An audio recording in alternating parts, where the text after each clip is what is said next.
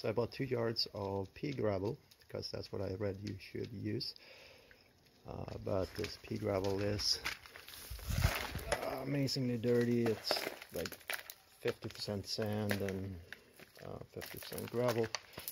So I need to separate the sand from the gravel because I can't have all that in the pool and wash the gravel.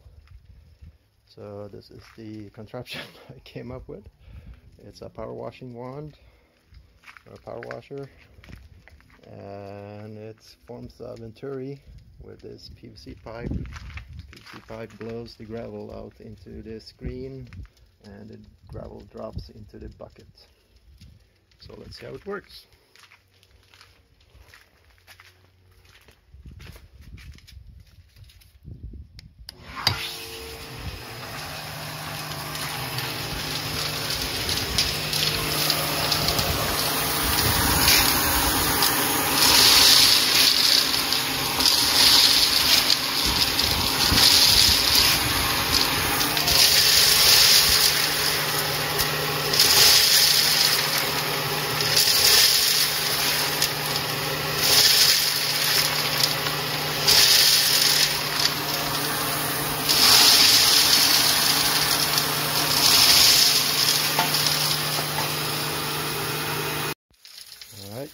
Here's the result.